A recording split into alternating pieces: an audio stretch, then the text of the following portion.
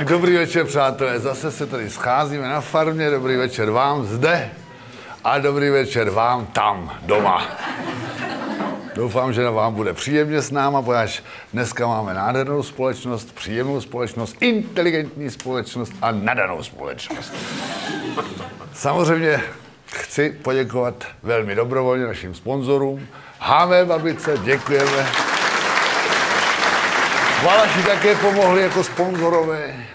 Je to samozřejmě masný průmysl, krásno z Valašského Meziříčí.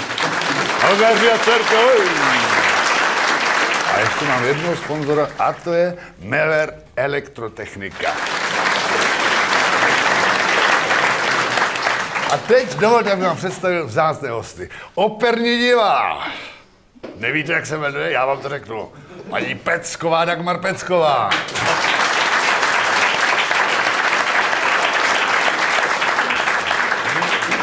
Vedle mě po levici dirigent internacionálního renome, pan Libor Pešek.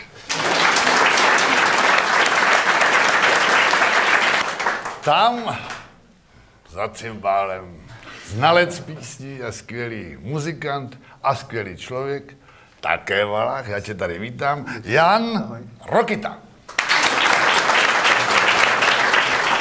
A já vás nechám ještě jednou zatleskat, až představí zde po pravici ministr kultury Slovenské republiky Milan Kňažko.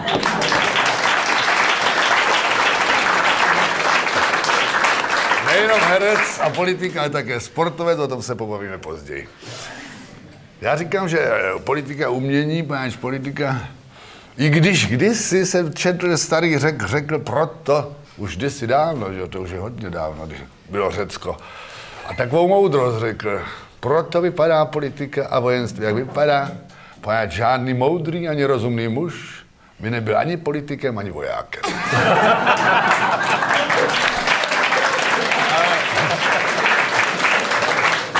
Politika je samozřejmě umění, protože málo kdo to může dělat a ještě míň je, co to dělají dobře.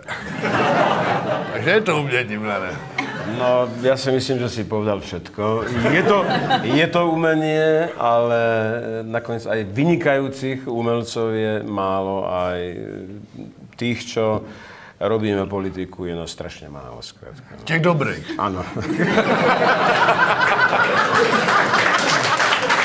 Dostal tak, to země trošku my sme... nedobrovoľne, ale dostal. Ne, ne, ne, my sme v takej zvláštnej situácii, tak, tak v Čechách ako na Slovensku, pretože tí profesionálni politici, tak tí, chvala Bohu, že skončili však. A, a zase na druhej strane nastúpili ľudia z rôznych povolaní. A ja si myslím, že žiadne povolanie nie je špecificky najlepšie alebo špecificky dobré pre, pre politiku.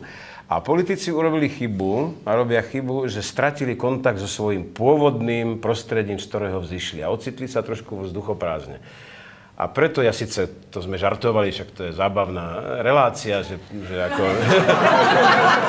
že, že, som, že som ako umelec politik, to nie. A ja si myslím, že budem dlhšie určite hercom a teda povedzme, povedzme umelcom ako, ako politikom, pretože um, ja som sa síce vrátil k herectvu, aby som sa práve ocitol nohami na zemi pred 4 rokmi, po 7 rokoch abstinencie hereckej. som sa vrátil k herectvu práve preto, aby som mal reálny kontakt s prostredím, z ktorého som zišiel, skrátka so životom, s ľuďmi, konkrétne s Marianom Labudom, Milanom Lasicom. Aha, on potkává v šatně Lasicu a Labuda myslí, že to je reálný prostředí. Áno,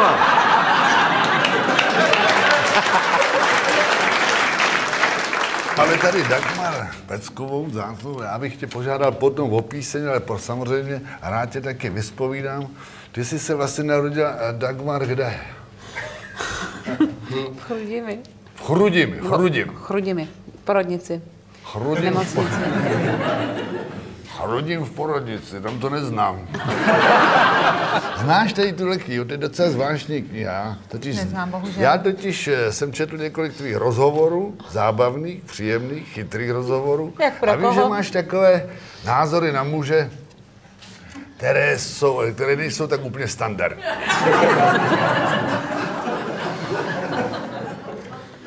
No co si vlastně o nás myslíš? Jaký podle tebe jsme? Ne.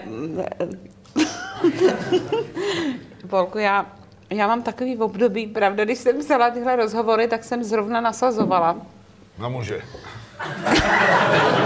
I na muže a Nebo na dítě. ne, na muže. No tak v podstatě i na ty děti, protože ono u vás se to nedá rozlišit někdy moc, ale, ale já jsem jenom teďka, já jsem tak jako smířená s osudem a já už to teď moc neřeším. Ne. Ne, Teď už jsi jako s náma vyrovnaná. no s váma ne, spíš s tím osudem. Jo.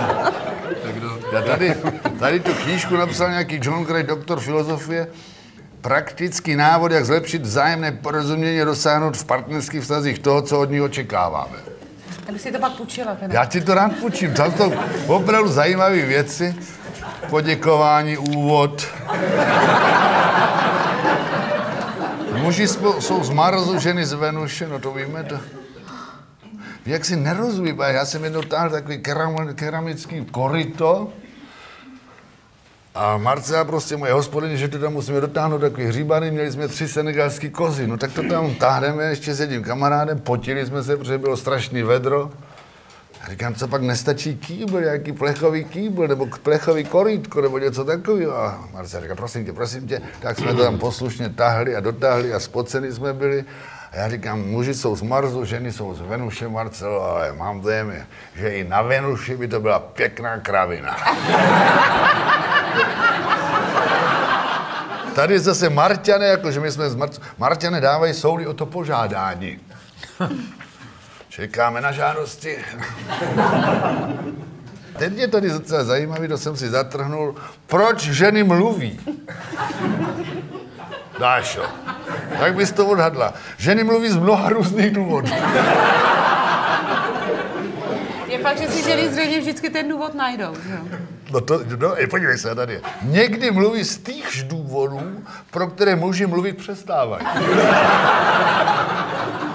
A něco vtipného o mužích bys tam neměl? No určitě. Mluví ženy proto, aby předali nebo získali informaci, to je zpravidla jediný důvod, proč mluví muži. A teď je tady, aby ženy mluví proto, aby přišli na to, co vlastně chtějí říci. Aby přišli na to. Je to hezký, protože je to takový jako opravdě, protože opravdu jsme kde si trošinku jiné, když žena řekne nějakou větu a my si dost dobře nepřeložíme, protože my mluvíme marsky a oni mluví venušsky. Jo. Znáš to přece, ne? Když jsi taky byl kolikrát ženat. Tatínek byl dobrý, jak maminka říká, že já zemru. Až já umřu, tak ty si najdeš mladou, já tady budu ležet, ty mě překročíš a půjdeš si po svým. A tatínek potom po třech dnech, on měl dvě, jo, po třech dnech potom šel do zkoušky, jak udělal takový velký krok. A maminka říkala, co děláš, prosím tě? A on říká, nacvičuju. Pak měl ještě dobrou větu, když ona říká, až já umřu, vy si tady budete klidně žít, najde se, najdete si nějaký ženský, nevím, proč byla pořád tady tu fobii, že teď by si našel ženskou, protože když já jsem se narodil, otec měl 50 let. A když já umřu, tak si najdeš mladou a budete tady žít. A, to, a otec říkal, Boluško, napřed umři a potom o tom budeme spolu diskutovat.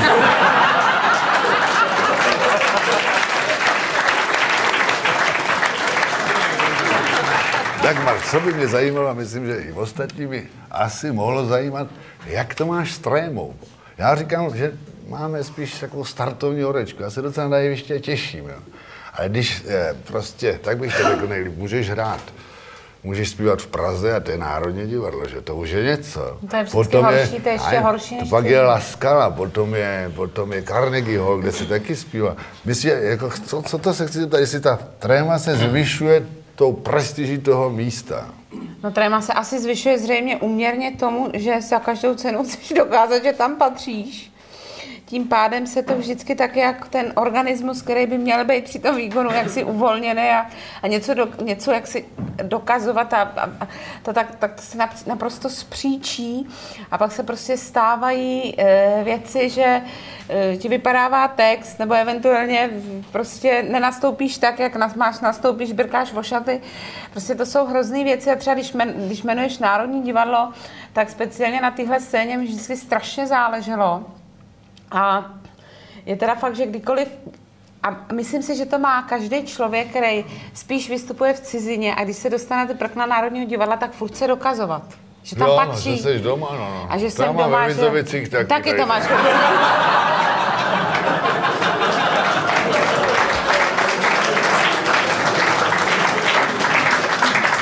tak, takže mě musíš rozumět, jak mi je, no. Velmi tě rozumím, no, no protože ale navíc, jako ono, to zní jako legrace, ale navíc přijdou známí, přijdou příbuzní, přijdou kamarádi a, a oni si, by si taky mohli, mohli říct, no, moc mu to nejde.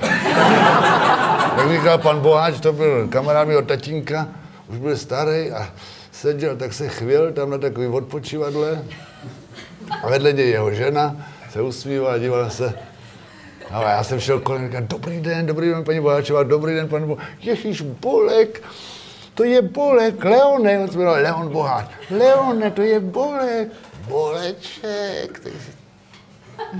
Se, se na mě díval a no, Bolek, on hraje divadlo, on vystudoval divadlo v Brně, on hraje divadlo. On se díval říká, a umí to? Jsou ty věci. Takže ta tréma říkáš, je, je to. Já jsem takovou podobnou historku se stala teda panu tenor, slavnému tenorovi Petru Schreierovi. A to je taková historka, on se s ní i sám rád chlubí. Kdy pan profesor Svitner, tehdejší šéf-dirigent mm, štátskapele Berlín, eh, jak si byl pozván mm, paní Schreierovou na první vystoupení jejího muže tenoristy jakožto dirigenta. A byl takový taky už takový jako stařec, už tu dirigentskou hůl, tak jako, že lidi nevěděli, jestli to je první nebo co to je. Takže jako tak jako měl tu taktovku a ona mu teda říkala, můj muž diriguje dneska večer, přišel byste se laskavě mistře na to podívat. On se na ní tak podívá a veřejně.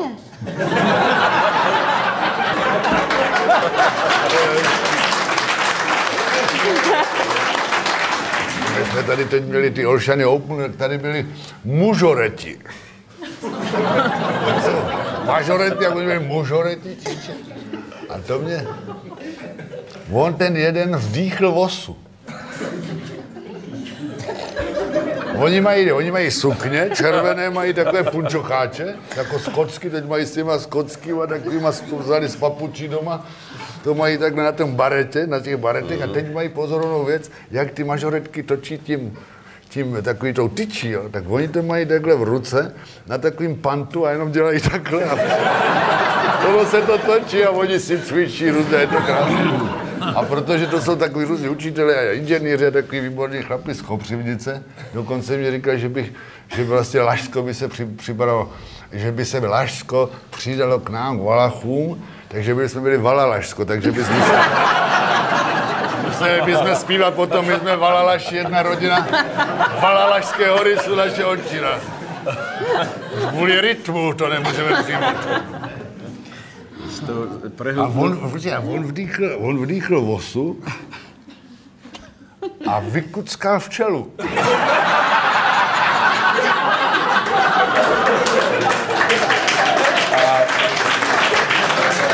Jak dlho to trvalo?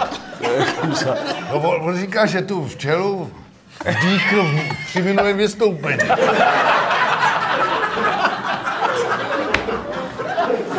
Tady hemis, prosím tě, dáš čo co. S tou prehltnutou osou mi zišlo na um ešte. Kedysi dávno sme nakrúcali Rusálku s Magdou Vašariovou a našli taký, e, takú ek- pekný exteriér, nejaké rašel, rašelinište pri Františkových lázniach, vzácne chránené územie, vzácný chránený hmyz, samozrejme. A my na takej čistinke uprostred toho blata, tých močiarov, nám to tak vystlali a tak ešte pán Kúra robil takú choreografiu, to trvalo asi minútu ten záber, lebo cez minútu spievali sme však opera, ja som, vtedy som teda spieval. Ste ešte boli taká malinká. No a okolo lietal ten vzácný hmyz. No a Magda Vašarová veľmi dobre to mala natrénované, pekne technicky otvárala ústa, ako keby naozaj spievala. A ja som sledoval, ako ten vzácný hmyz jej chodí okolo, okolo hlavy, okolo úst a jedna z, tej, z tých vzácných múch skutočne sa jej to asi zapáčilo tam vnútri. A ja som sa pozeral a vletela jej do úst a ja som sa pozeral, čo bude ďalej. A ona sa zachovala hrdinsky, spievala ďalej, tá mucha sa už neobjavila. Ale museli sme opakovať záber, pretože bol prestrih na mňa a tam bolo vidno v tom detaile, ako sa mi hrúzou rozširujú oči, ako pozerám, čo bude. Čiže ja som to pokazil, ja som to nevydržal. Statočná Magda zhltla muchu úplne zbytočne.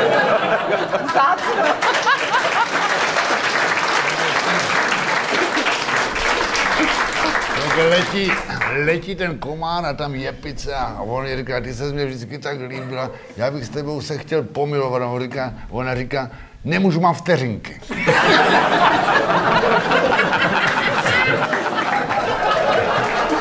Takže Dášo, už bude píseň, myslíš, že na to čas? Já to, ale Polko, já ti to nedělám, že já jsem se teďka tak rozchytala, rozdívila. Tak zkusíme to, pane Roketa.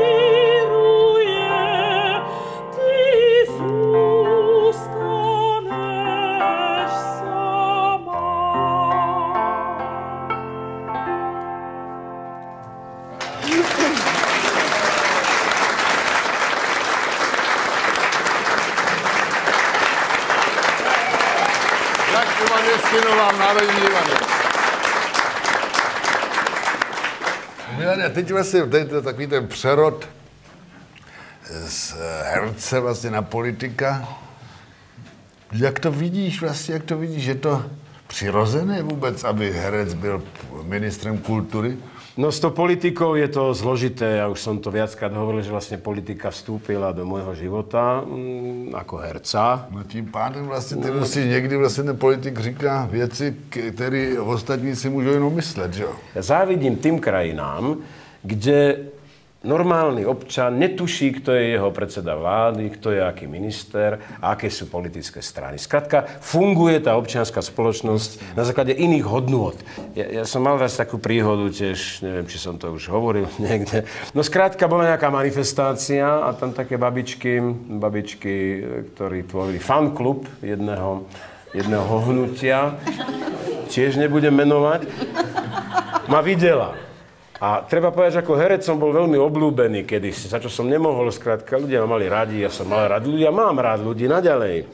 No a tá babička, keď ma videla na tých 10 metrov, tak začala, Ježiš Maria, Milanko náš zlatý. A potom som videl, čo si, ako viete, keď kolieska v stroji na jednu stranu, zastavia sa, potom sa otočia opačným smerom, tak to pokračovala takto, že Milanko náš zlatý, ty svina jedna. To je v skratke o politike a umení.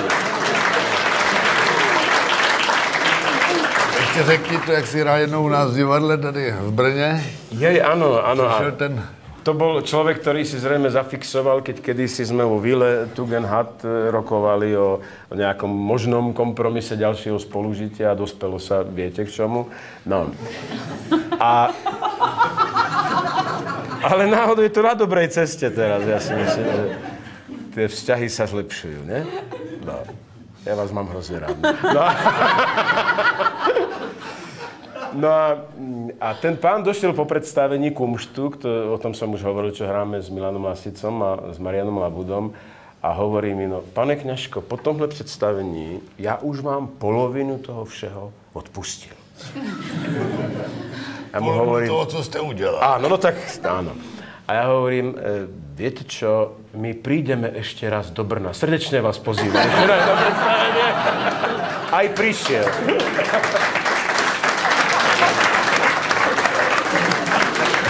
Já, Milane, odkaď ty si, ty si, eh, já vím, že samozřejmě, no. ale teď si nevíš, jak se, to, jak se ty to víš, Honzo? Plachtince. Plachtince. A tiež som sa narodil doma.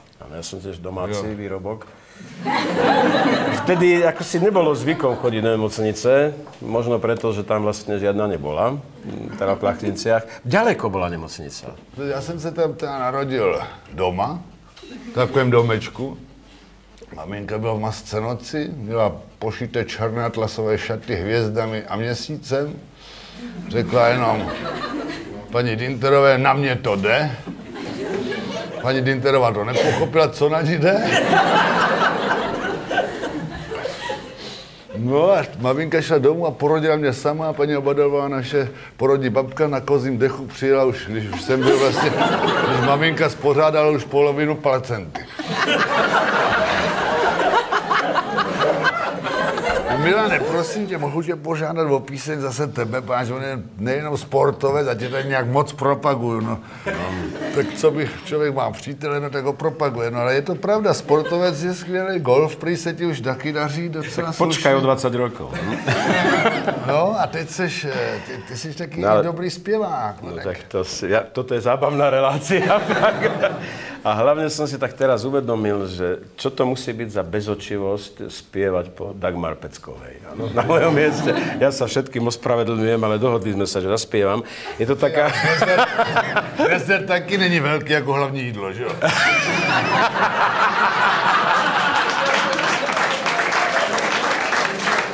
Dobre, tak povedzme, že ja som ten digestív. Dobre? Úplne nakoniec. To je taká vysťahovalecká pesnička neviem prečo, tak viem prečo. Zo Slovenska stále odchádzali ľudia už 250 rokov, že odišlo pomaly viac, ako ich zostalo doma. A je zaujímavé, že vlastne tí najlepší, takí tí inteligentní, tí aktívni, tí, tí by som povedal, takí činorodí, s energiou, to všetko odišlo do zahraničia za tých 200 rokov na doma sme zostali iba my, tí ostatní. A to sa niekedy potom čudujeme, že prečo veci nejdú. No.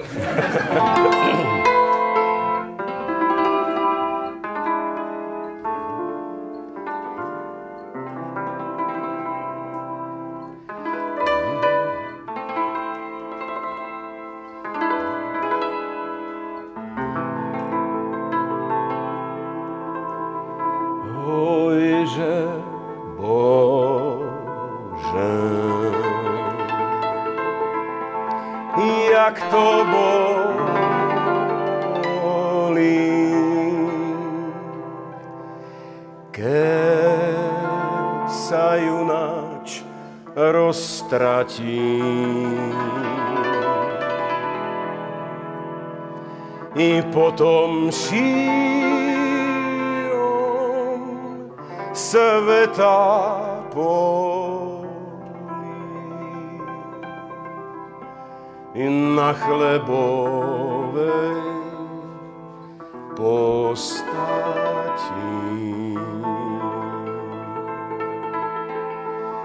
I každý svojou. Pošiel stranou. I hnaný žitia nevolou.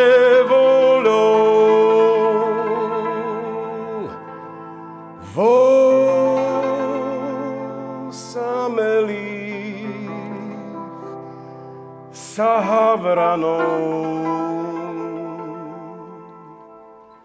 sa havranou zmenil krdeľ sokolou.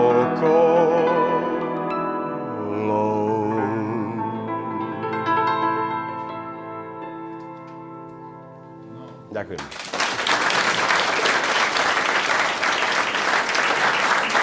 A teď ještě přece za- zeptám, my se třeba, já se Dášata se rozpívá, ty se taky rozehráváš a dirigent se rozdirigovává, nebo? Ne, dirigent se nerozdirigovává. Dirigent prostě jde do první zkoušky s velikou trémou, protože ta No. první zkouška vlastně ur- určí ten vztah toho dirigenta s tím orchestrem. Čili prostě e, není tam žádná příprava na to. Ta příprava je předtím, to se učíš ty noty. Jo, jo, jo. A mají se jak třeba ty sekce různé, jako třeba, já nevím, smyčce, žestě, mají se oni jako mezi sebou třeba je tam napětí v tom orchestru, tam... Si představit, ti blbci tam... Jako... Jo, jako než že si tak oni navzájem říkají, protože já si muzikantů vážím. Tak Jsem nadaný fagotista. Ano, to je pravda. Tam je prostě pochopitelně to množství práce, co kdo odvede, je, v- tom je velký rozdíl. Ty houslisti, vůbec smyčcoví hráči zahrajou desítky tisíc, sta tisíce not a e, dechaři už trošku méně a bisisti opravdu jenom zlomek toho. A je to v podstatě všecko v jednom, v jednom orchestru. Čili i tohle to Já jsem slyšel nedávno, mě říkal Honze, krásný fón, jak přijde na konzervatoř paní se svým synem a říká, že bys měl chtěla být muzikanta, ale prosím vás, pane řediteli, rychle dělá. A on říká, no rychle, rychle, jak to myslíte rychle? No tak, aby byl rychle muzikant. No dobře, no tak já nevím, no, ať jde na bicí, to máme tady zkrácený režim, to je na dva roky na bicí. A on říká, to je, to je pomalu, to je pomalu. Říká, no, říká, nevím, tak na rok, kdybych chtěl na rok, tak triangl, triangl na rok. No, říká, rok, Ježíš Maria, to ne, to je jaro, leto, podzim, zima, to já, to já musím, já mám jiné úkoly, to nějak rychle. Říká, víte co, paní, počkejte si před školu, uděláme z něho dirigenta.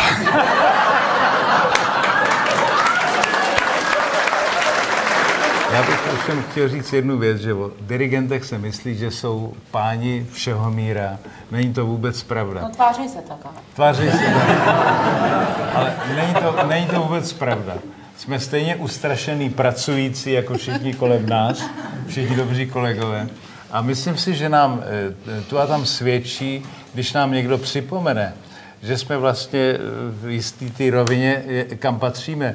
Já jsem, když jsem se stal eh, šéfem v tom Liverpoolu před mnoha lety, tak jsem jednou letěl pozdě na zkoušku, protože bylo spoždění, kde si v Londýně, tak jsem do Manchesteru přilítával pozdě a po cestě jsem viděl, že tam už čeká orchestr, abychom zkoušeli a já jsem říkal ty letušce, prosím vás, běžte k tomu kapitánovi, já vím, že tam máte to rádio a pošlete tam zprávu, že ano, přijedu pozdě, ale že jsem na cestě.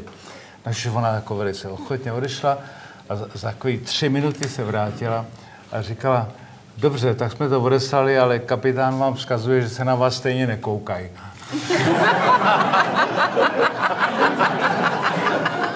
Já jsem měl harfenistku, pro- jenom je- hned nechám odpovědět. Harfenistka, jsme natáčeli nějakou hudbu pro naše představení a poněvadž jsme v Janáčkové divadle v takový zkušebně, nebo takový na- nahrávali jsme to prostě. A přišla paní, která si ty harfě prostě sedla. Ona měla, protože tam byla trošku zima, ona měla takový flaušák. Nechala si dokonce takovou, čep, takovou tu čepicu, ale čepicu. Ne čepici, to nebyla čepice, to byla čepica. čepicu na hlavě a vedle měla síťovku a tam si otevřela pivo. Měla tam i svačinku, ona měla. Ona měla rohlík a jablíčko, asi držela dietu. A teď jí bylo potřeba zahrát těma v, tý, v, tom, v, tom, v tom kabátě, v tom v té čepici zahrál protože nádherně, jako těm, že oni mají ty ruce nádherný. No už zase měla čas, tak pila to pivo. Ale, tak mě to nešlo normálně, protože ta elegance těch muzikantů, jako ty jsi elegantní, nemůžeš tam přijít do Liverpoolu nebo někam v Holandsku nebo někam prostě do Národního divadla, nemůžeš přijít teplákové soupravě s bílou hulkou. Já jsem, já jsem jednou dirigoval jakýsi koncert orchestru FOK a tam byla nějaká oslava. A teď řekli, o přestávce eh, musíte otevřít šampaňský a pokřtíte, já nevím co. A teď si představ, že si oddirigoval celou velkou symfonii a přinesli to šampaňský na takovým stříbrným tácu. A teď bylo na mě, abych já před sálem, kde bylo tisíc lidí, otevřel šampaňský, což není vždycky úplně jednoduchý. Ovšem, mně se to povedlo. A teď jsem to otevřel takovým tím stylem správným a slyším, jak říká koncertní mistr tý holce vedle, tý mojí kamarádce, říká, viděl jste, jak to otevřel? A ona říká, víš, kolik on jich v životě už otevřel?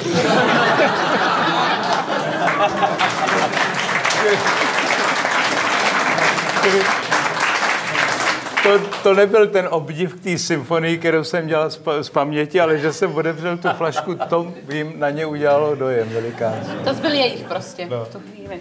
Já bych navrhoval, jsme tady krá, výborný folklorista, jsou tady dva vážní muzikanti, diva, je tady pan dirigent, je tady pan ministr, jsem tady já, že bychom si společně, společně zaspívali. Nebo, nebo chcete ještě hovořit o nějakém časovém období? Navrhl pubertu? To je zajímavý téma, puberta. No tak jo. Jak říká Hanák, to říká, jak říká puberten, nejdůležitější je zúčastnit se. jak, jste, jak jste vlastně prožil pubertu? Dášo, zeptám se tebe. No, těžce. Těžce a musím říct, že třeba jsem zjistila, a to jsem to dítě první měla hodně pozdě a tam skončila ta puberta. Jako, že to No bylo takhle, až do prvního dítěte. Až do prvního dítěte, no. Některý, je teda fakt, že chlapi to mají ještě díl, ty už rovnou přecházejí do senility, ale No, Já říkám, já říkám jinak, já říkám, někteří z nás z puberty do urny.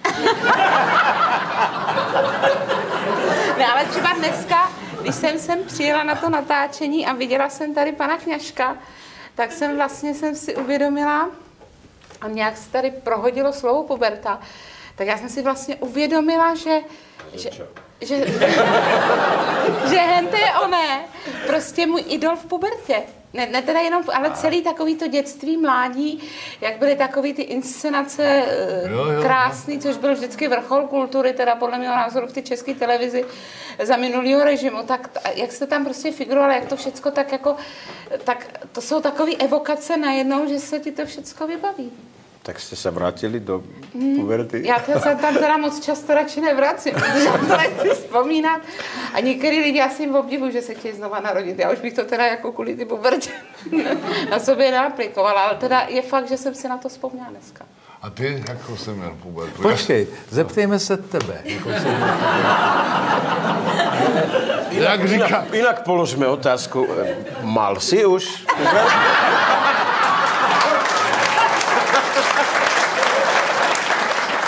Samozřejmě to, Vizovice malé město, malé městečko, takže tam, jak bych to řekl, ten výskyt těch krasavic je takový řidší.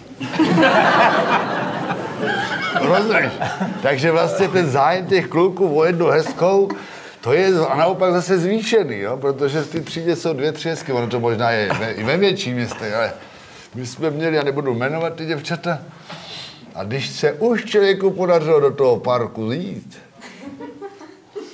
a být, a teď se vám vozve najednou, tak teď se vám ozve, to se řekne, to se řekne.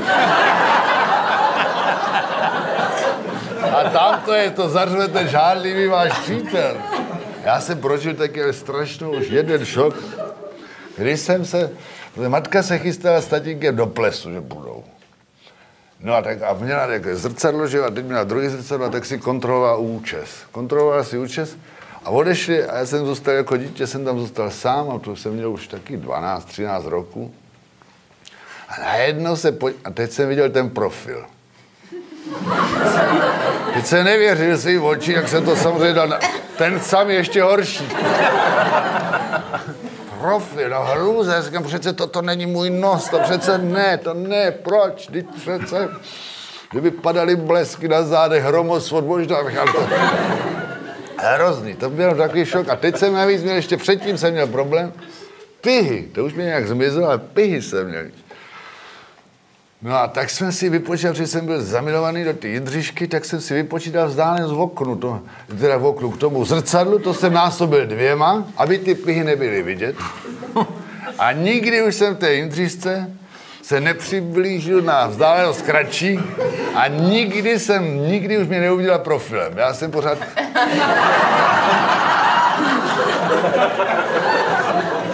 Takhle se to řešil. Těžký namlouvání. No to teda jo. Ale eh, všimli jste si, jak, eh, kolik krásných holek eh, zůstává neobletováno jenom protože se jich mužský bojí? To je taky pravda. To je, mně připadá, já vždycky říkám mýmu vnukovi, prosím tě, běž po té nejkrásnější, protože ty jsou nejvosamělejší, protože ty chlapi se jich bojí. Nebo je to jen... Ano, je to krásně, že, krá... Nejkrásnějších se že, bojíte. že jsou nejvosamělejší, ty nejkrásnější. Jo. To já takovou ne... Já taky takovou neznám. Ale je to něco na tom je. Ale to musím být teda hodně hezká, když se mě furt tak všichni bojí. Ja som teda mal strašný ostych nejaký. No já taky. Keď som sa pocitol sám s dievčaťom, no. niekde tak ma prepadla doslova panika, chaos v hlave a mal som také e, z dnešného môjho pohľadu čudné reakcie. Tak som sa radšej treba nepozeral na tie dievčatá a potom hovoril mne, že som namyslený, ale vedel som, že keď sa pozrem ňu, že znovu príde ten chaos a ja sa dostanem do skrátka ťažko kontrolovateľného stavu a byl som ako úplný idiot, treba povedať. No. A stala sa mi taká príhoda raz, na to nikdy nezabudnem, pretože také šance sa už nevracajú samozrejme. Boli sme v takom stanovom tábore v turistickom krúžku. Nemal som ešte 15, 14 rokov, tedy tá puberta neskôr začínala, tak až v 14. No a my sme si rozprávali vtipy, v stane bolo nás veľa a tak, ako už to tak končilo všetko okolo druhej. A jedna krásna blondínka v tom čase, tiež v mojom veku, eh, do ktorej som bol platonicky zamilovaný už niekoľko týždňov, tak sa tak pozrela na mňa a hovorila mi, Milan, ostaň tu so mnou. Ako vstane. A znovu prišla tá panika a ja som sa jej opýtal, sám? Nikdy nezabudnem na ten jej pohľad. Takéto jemné pohrdanie, Já si myslím, spojené s ale prostě neviem to ani popísať. Ale puberta je krásné, to je vlastně období, kdy člověk, to má v jedné hře, to nevím, proč mě to napadlo, hledá tu škvíru, tu díru mezi, dě... mezi dětstvím a dospělostí. Áno, áno. Prolezem si.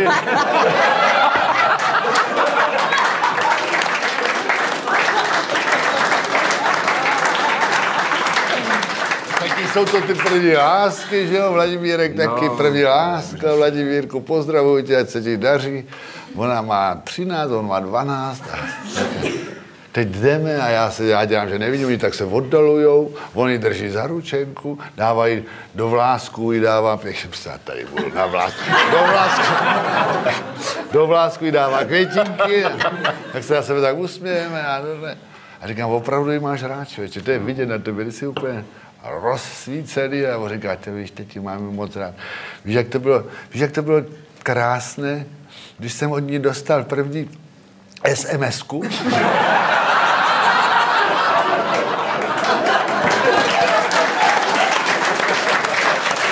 Tak, a, tak zaspíváme nějakou, kterou bychom si zaspívali.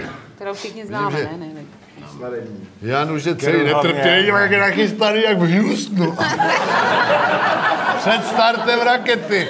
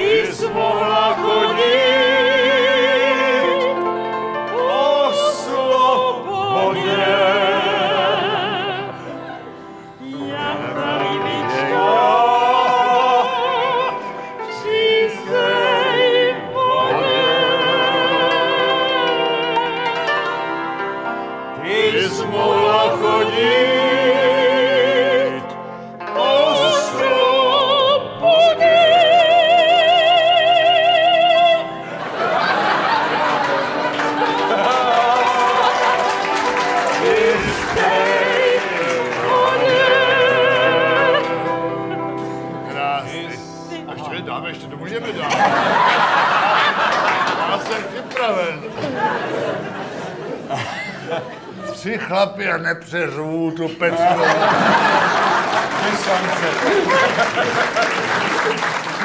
Tady tyto bolkoviny končí, já vám děkuji za vaši účast, pozdravuji taky vás doma. Samozřejmě, kdybyste chtěli si přečíst bolkoviny, tak to máte k dispozici. Můžete si je dokonce poslechnout Český rozhlas 2, stanice Praha, nebo přečíst v týdeníku televize, nebo v týdeníku Květy a samozřejmě www.bolek.cz. Dobrou noc, příjemnou noc, i ráno, i den, další noc a ráno, i den a ještě den a ráno. Dobrou noc.